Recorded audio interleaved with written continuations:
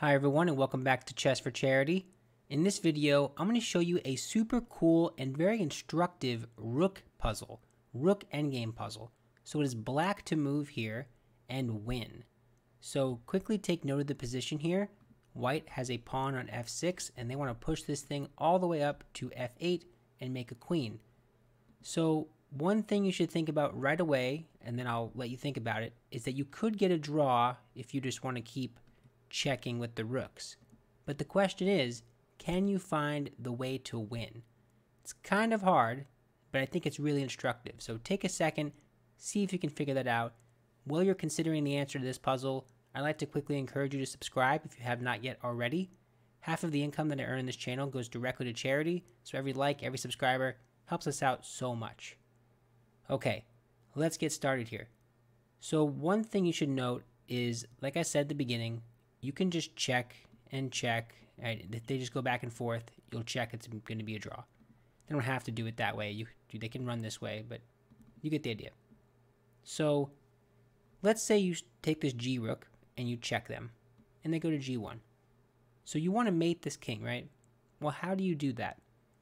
Ideally, you'd want to separate these two rooks and have one of them, I don't know, on C2, maybe go to C1, or H2, go to H1, and get this kind of double line pattern happening. So let's just say, for example, in this puzzle, you want to go, I don't know, rook d2. Maybe the idea is that you want to like move here and then eventually drop the rook in.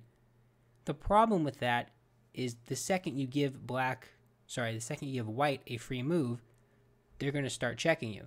And rook b6 check is kind of a problem because now you have to either interpose or you have to run to A1. If you go to A1, then you're going to have, really have to interpose because this is what's going to happen. And after all these trades, whether you take with the king or the rook, you're going to lose. Right? You take with the rook, the move is F7. They can play this one. And then what's the best move here?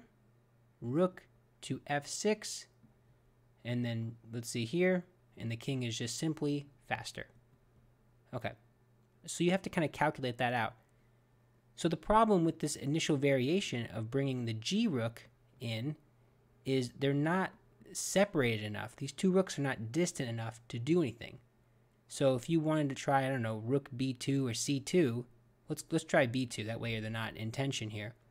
That stops the checks, and that's a good idea. But there's not really anything they can do because rook d6 and what you can't you can't like get distance. Let's say you go here, the idea being to go here, they actually would win. Rook d1 check, the king goes to a2, rook g8 is what the computer is saying. I'm thinking rook a8. Let me see. Oh yeah. Okay, I was trusting my instinct there.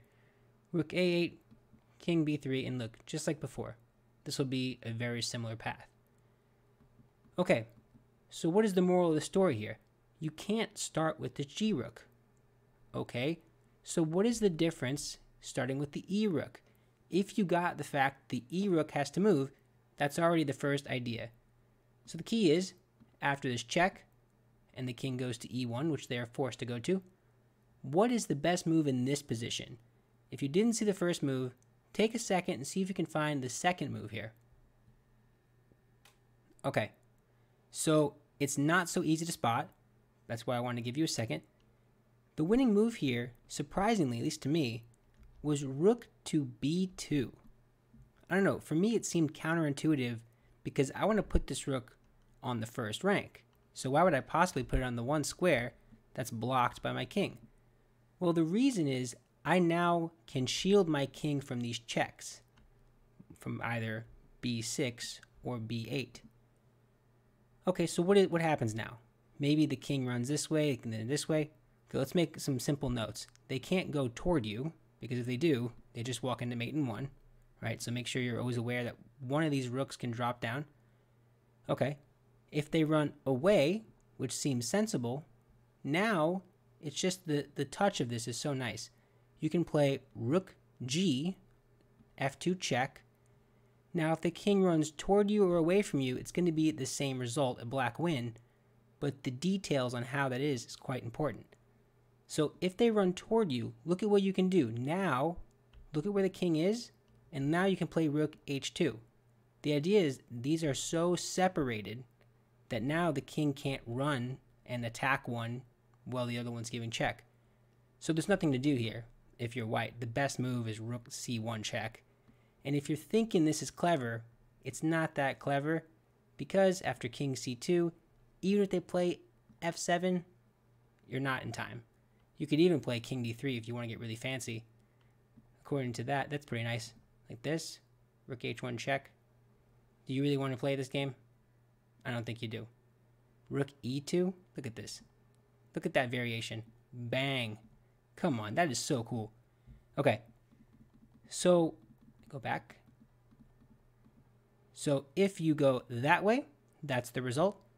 If you go to g1, now the king is farther away from this side of the board, which means you can make use of d2. And just like before, now these rooks are not in a position to give check, and they're also kind of, they're not doing anything. They're staring at open files, that's great, but I'm trying to threaten checkmate. And just like before, there's nothing that white can do. They can play rook c1 check, and you might, again, think maybe I can push this pawn if I'm white. No. Rook b1, take, take, push. You're here. You're in time. You just go here and here. One, two. The king can't go there in a move. Okay. So, quickly returning. Okay. So after the check, you run this way. After rook b2, what else is there? I showed if you go toward the king, that's mate one. If you go away from the king, that's going to be mate in the sequence I just showed. What else is there to do? Well, if you move a rook anywhere, let's just say, I don't know, where do you want to move a rook? Anywhere, you're not going to be able to do that because I'm going to have mate right here. So I'm thinking, what I was trying to think is what if I went to f6? Well, I can't do that and block because there's a pawn there. So this pawn, believe it or not, is actually a detriment to white. Isn't that kind of funny? Because this is the one square I want to pivot on, but I can't do that.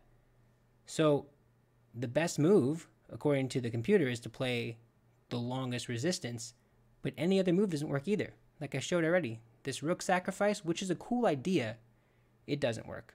They can go for this, but it doesn't work.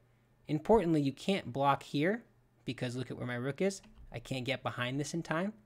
So there are, there are tricks here, like this, for example. Now you push the pawn, I can't get here, and I can't get there.